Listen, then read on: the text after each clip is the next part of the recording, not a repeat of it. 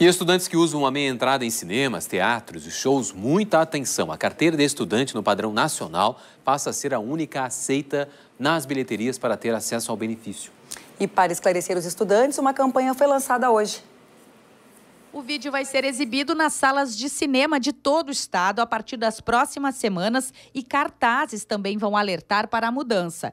A exigência da carteira unificada, emitida pela União Estadual, no caso dos universitários, e pela União Gaúcha, no caso dos secundaristas e alunos do ensino fundamental, já vale desde o final do ano passado, com a definição dada pelo Estatuto da Juventude mas muitos estabelecimentos ainda aceitavam outras formas de comprovação, mesmo reclamando de possíveis fraudes. O Procon do Estado, junto com alunos e empresários, fizeram a campanha para esclarecer a mudança. A ideia é que o prazo de tolerância já terminou, a lei já está um ano em vigor, então é, a campanha visa a conscientização do estudante através dessa campanha para que eles possam saber que tem que fazer a carteirinha, que ela é válida, ela evita fraude, é uma segurança para os empresários e também para o meio estudantil, para garantir o seu desconto. A carteira pode ser encaminhada pelo site meiaentradaonline.com.br ou solicitada na sede das entidades estudantis. O documento sai na hora. O que, precisa levar? Um atestado de matrícula, CPF RG.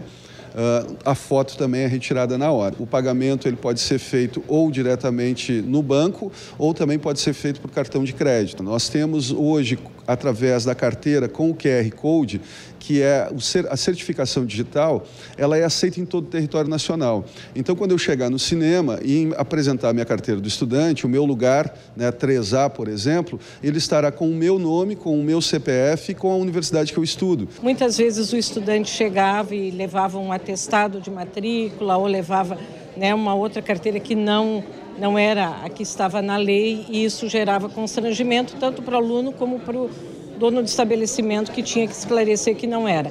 Então, acho que é uma, uma campanha de esclarecimento de direitos. A validade das carteiras vai até março de cada ano. Isto porque o documento está condicionado à matrícula em instituição de ensino.